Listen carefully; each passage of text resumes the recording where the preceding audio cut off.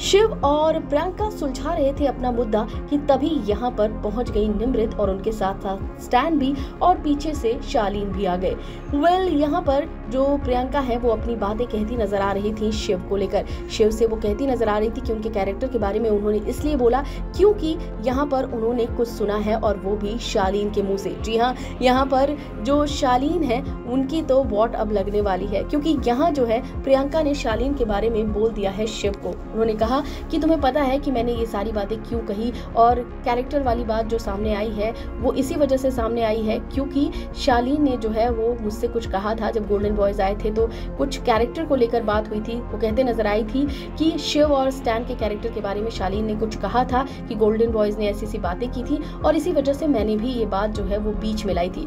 इसके बाद यहाँ पर जो शिव है, वो कुछ और भी बोलते कि तभी यहाँ स्टैन आ जाते हैं और साथ ही साथ निमृत आ जाती है और निमृत अपना स्पेशल कमेंट करना शुरू करती हैं और किसी भी तरीके से इस बातचीत को ख़त्म करने की कोशिश करती हैं। जी हाँ यहाँ पर वो किसी भी हालत में नहीं चाहती हैं कि शिव और प्रियंका की कुछ भी बातचीत हो, दोनों के बीच अच्छी सी बॉन्डिंग हो जाए, ये वो बिल्कुल भी नहीं चाहती और तभी यहाँ पर आप देख सकते हैं कि शिव जो हैं, वो बात ही कर रहे होते हैं कि तभी यहाँ निमृत भी आ जाती हैं और उसके बाद यहाँ पर स्टैंड भी आ जाते हैं और स्टैंड भी बहुत कुछ बोलने लग जाते हैं और फिर यहाँ पर बात जो है वो ख़त्म ख़त्म सी होती है और यही नज़र आते हैं शालीन भी। शालीन को भी काफ़ी ज़्यादा टेंशन होती है, क्योंकि उन्हें पता है कि अगर शिव और प्रियंका मिल गए तो भाई उनकी दाल तो बिल्कुल भी नहीं गलने वाली है। तभी तो वो बार बार आकर प्रियंका और टीना की बुराइयाँ करते रहते हैं, खासतौर पर प्रियंका की।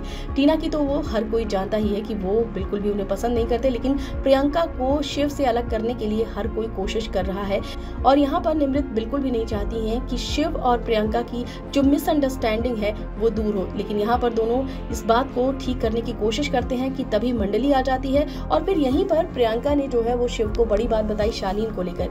अब यहाँ शालीन जो है वो अपना अलग गेम खेल रहे हैं। उन्हें पता है कि भाई अब जो है ले देकर मंडली ही बची है क्योंकि वो अकेले गेम तो खेल नहीं पा रहे हैं। क्योंकि जब वो अकेले होते हैं तो वो अपने आप को लोनली फील करते हैं। वो हमेशा अपने आप को बेचारा दिखाते हैं, जिसके बाद लोग काफ़ी ज़्यादा उनके ऊपर कॉमेंट करते हैं और उनको काफ़ी अप्रिशिएट करते हैं, उन्हें कंसोल करते हैं। यहाँ तक कि जो सुम्बुल है, उन्हें भी दया आ गई थी। मंडली भी काफ़ी ज़्यादा उन पर दया करती नज़र आई थी। लेकिन प्रियंका को पता है कि शालीन क्या है टीना को भी पता है कि शालीन क्या है। हालाँकि टीना भी क्या है, ये बात भी प्रियंका अच्छी तरह से जानती है, क्योंकि प्रियंका रियल में इस गेम को समझती है। तो इसी वजह से यहाँ पर शालीन जिस तरीके से मंडली के बीच जाकर बैठे हुए हैं, यहाँ पर प्रियंका ने वो चीज़ कर दी। तो यहाँ पर जो शालीन है, वो मंडली में जाकर बैठे हुए हैं तो प्रियंका ने पूरी तरीके से जो शिव है, उन्हें क्लियर कर दिया कि भाई, इसी शालीन की वजह से मैंने तुम्हें ये सारी बातें बोली हैं। तो अब जो है, शालीन का क्या फिर से शिव जो है, वो सपोर्ट करेंगे? वैसे तो शिव को भी शालीन के बारे में पता है क्योंकि शिव और निमृत भी कई बार शालीन की बुराइयाँ करते नज़र आते हैं।